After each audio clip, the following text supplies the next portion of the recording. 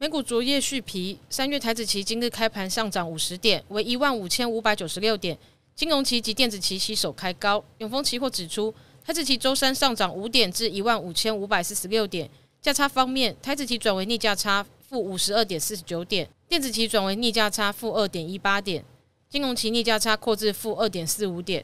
现货部分，三大法人卖超五十七点四八亿元。而在台子期进部位方面，三大法人净多单增加一千七百六十八口至一万四千九百三十二口，其中外资多单减码超过空单减码，净多单减少七百七十四口至一万四千八百三十二口。十大交易人中的特定法人，全月份台子期净多单增加二十五口至一万三千零七十五口。